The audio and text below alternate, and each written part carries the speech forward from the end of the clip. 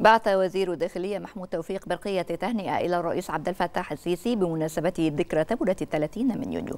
وخلال البرقية تقدم وزير الداخلية وهيئة الشرطة بأبلغ عبارات التهنئة للرئيس السيسي مؤكدا أن الاحتفال بتلك الذكرى الوطنية يأتي تجسيدا لنجاح إرادة شعب أبي احتمى بحكمة قائده وثار في وجه جماعات الشر بدافع الحفاظ على هوية وطن أهدى للإنسانية منذ فجر التاريخ قيم الحضارة.